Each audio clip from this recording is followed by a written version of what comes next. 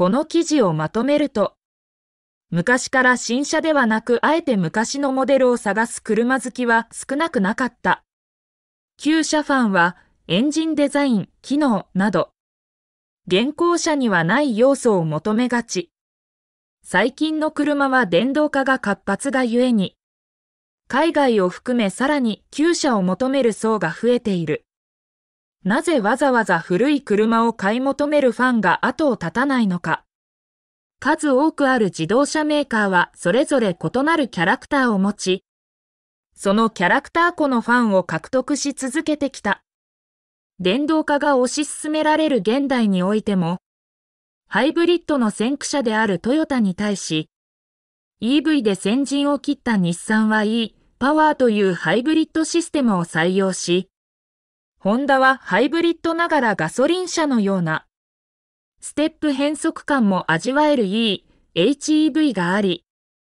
スバルは水平対向エンジンにモーターを組み合わせた E、ボクサーを用意するなど、各社様々な特色を持っているのはご存知の通り。このブランドごとの特色は、旧車を愛好するファンにとっても大切なものとなっており、各ブランドのファンはそこに魅力を感じてそのメーカーの車両を愛し続けている人も少なくない。そこで今回は、旧車ファンが感じるブランドらしさについて考えてみよう。まずはトヨタ。新車時は無味無臭で優秀だがつまらない。と揶揄されることも多いメーカーだが、トヨタの旧車は今乗ってみても、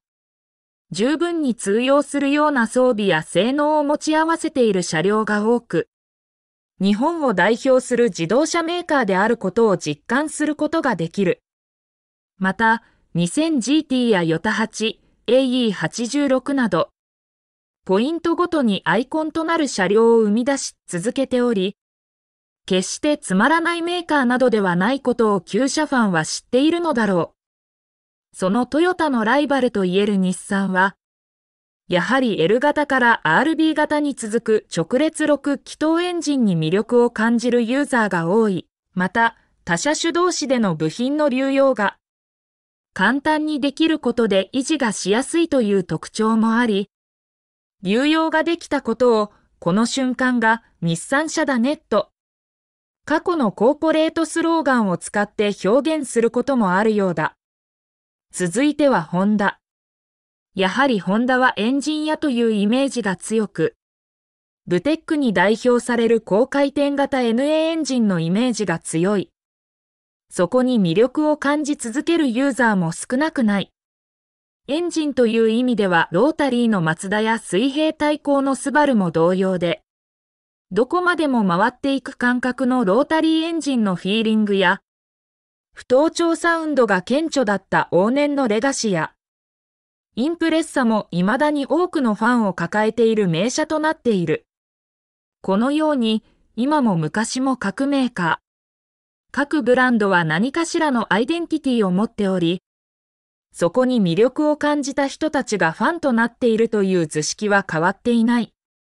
ただ、過去のアイデンティティに、引っ張られすぎて今のモデルを毛嫌いするようでは、自らの視野を狭めるだけなので、旧車ファンであっても現行モデルにも、触れてみるとさらに推しメーカーの魅力に気づくことができるはずだ。